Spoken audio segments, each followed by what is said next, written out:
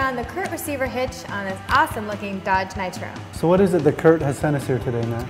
We have one of their awesome hitches that makes your vehicle really versatile. It could be used for a bike rack, ski rack, steps, or even a cover. And even in your weight class, you can even tow one of your vehicles. Now how long is this going to take myself or the regular Joe to put this on, do you think? I would give it you about half an hour. Well, let's get started. All right.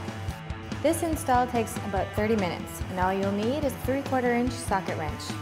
This Curt receiver hitch weighs approximately 39 pounds, so it might not be a bad idea to have an extra set of hands to help you with the install. There are six bolts that hold the hitch in place.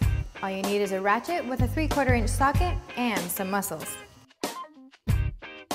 What's also really nice about this Curt hitch is that it's all robotically uh, welded, so it keeps it very strong. Also, black powder coat keeps it good looking for years. And also there is a couple of styles of the hitch and they're all backed by a one year warranty. And now I know you got something there, what is that for? Nat, this is an accessory that Curt also offers for this receiver hitch to light up the stuff behind you. It's a plug and play style T-connector, very easy to install. Okay Nat, I'm all done looks pretty good. Which is really good about this hitch is that it's very strong. The precision manufacturing about it keeps it nice and strong forever. The powder coating keeps it looking beautiful.